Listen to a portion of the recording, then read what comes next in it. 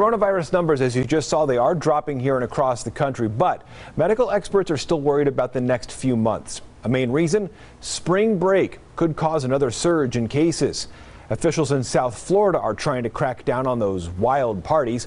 One popular beach banning open alcohol containers, setting capacity limits, and boosting their police presence. However, in Florida, statewide rules prevent enforcing some sort of a mask mandate or trying to limit capacity on most businesses. Do you really think that your restrictions for spring break will make a difference, or is it trying to hold back a tidal wave with a Dixie oh, cup? Listen, I, I don't know, but you got to do what you can do. We're not going to eliminate risk. We're simply going to try to manage it with the tools we have. Another tool there in South Florida, a midnight curfew beachside hotels. As you know, they do rely on tourism, and after a tough year, many aren't sure they could survive another shutdown.